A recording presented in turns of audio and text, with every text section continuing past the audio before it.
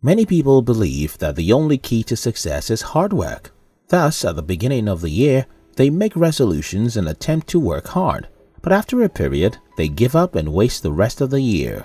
Indeed, there is no success without hard work, but there are other factors that can deter you from making progress. In this video, I will show you 9 reasons why you are not making progress year after year. 1. You don't have a plan. Among life's complicated axioms, there's one which should be taken literally. If you fail to plan, you plan to fail. Having goals without making our plans is just like deciding to travel to a foreign land without making preparations for transportation logistics. Even though you are sure of your destination, it is impossible to get there. Many people dream big dreams, set incredible goals but fail to put strategies in place to fulfill that ambition. You do not have to have it all figured out. In fact, as you journey, there is a likelihood that your plans will change. But you must at least put something in place first, else you'll find yourself either lost or following people around to just anywhere. You can't just live your life, year after year, having big dreams yet not making any plans. If you must progress, then you must make plans now. 2. You are still scared of failure. The fear of failure is one of the biggest reasons for stagnation. Many individuals remain in the same position year after year, not because they do not have plans, but because they have refused to take actions, because they are scared of failing. If you want to make a difference in your life, you must start working towards your goal. Contrary to your thoughts, if you fail at something, it does not mean that you are not good enough. Instead, consider it that you've just discovered a way that does not work. Pick up yourself and try another pattern. In the words of the founder, CEO and chairman of FedEx, Frederick Smith, the fear of failure should never be the reason not to try something. 3. You still set the same unrealistic goals. One of the qualities of a smart goal is that it must be realistic. At the beginning of the year, a lot of individuals become so pumped up that they set for themselves resolutions that are unrealizable. Often, after the first few weeks, one month maximum, they feel so pressured and, and end up giving up altogether. Thoughts of why did I not work harder or maybe I should have worked on so and so a little more during the week or wow start creeping into our heads and if not properly handled, you may carry the defeated mindset throughout the year. Even though your overall dreams seem almost impossible, by setting realistic goals and breaking them into schedules, you will ultimately progress. 4. You procrastinate. Procrastination is a thief of time, a grave where dreams and aspirations are buried. Well, that is no new knowledge to you.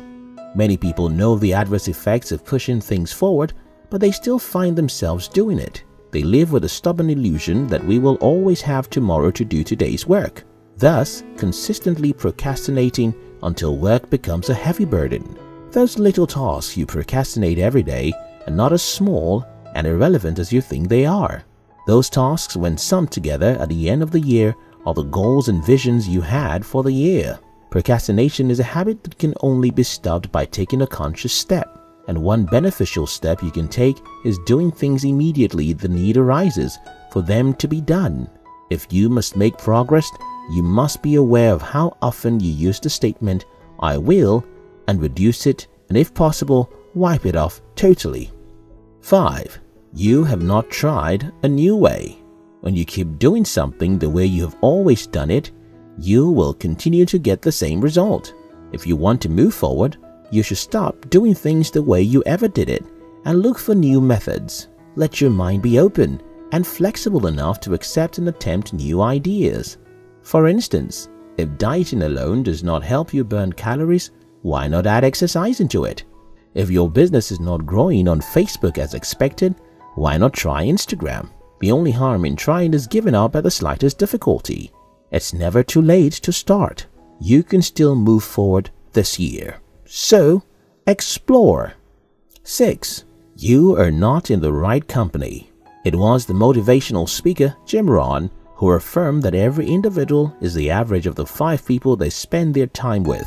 Scientific studies which have been carried out have backed up Jim Rohn's saying and concluded that humans are even more affected by the environment than they know. Many people like to claim that others cannot influence them, but whether you know it or not, or you agree with it or not, your personality and outcome in life are greatly influenced by the people around you, either consciously or subtly. If the people around you are not progressing, then you better search no further for the reason of your stagnancy in life. The reason is your company. Surround yourself with successful people, people who can motivate you when you are at the verge of giving up, who can lift you when you are falling, and who care enough to reprove you when you are going astray. 7. You have misplaced priorities. In his book, Seven Habits of Highly Effective People, Stephen Covey noticed that one attitude that is common among unproductive people is that they spend time doing the things that are urgent while they ignore the important ones. Note that priority in this context concerns timing. Most times, the inability to get your preferences straight is the reason why you are where you are. It is not like you do not have a goal or a strategy, but your priorities are misplaced, and so your goal is not in line with the present time. One way to be productive in life is to do first things first. Many people focus on doing the right thing but ignore the timing. Although doing the right thing should be of great concern to you, carrying out that task at the right time should be your goal. Because when you do the right thing at the wrong time, your result is either negative or neutral. If you want to progress as years go by, don't only do the right thing, do it at the right time. 8. You don't measure your progress in a granular form. One primary reason why it seems like you are not making progress is that you have not yet developed a measurement scheme for your short and long-term goals. An essential quality of a SMART goal is that it is measurable. Thus, before you begin a task, always ask yourself, is it measurable? If it is not, further ask, how do I make it measurable? And if it is a measurable goal, the next question is, what measurement strategy do I apply? For you to know whether or not you are moving towards your big goals, you must measure your activities. It sets you up on a positive momentum train. You can qualify your goals on a daily, weekly, and even monthly basis. However, your measurement must be quantifiable. For instance, if your goal is to lose some pounds, then you can purchase a weight scale and measure your weight in percentage weekly. If you do not measure your goals, you will remain stagnant. 9. You are waiting for the right time.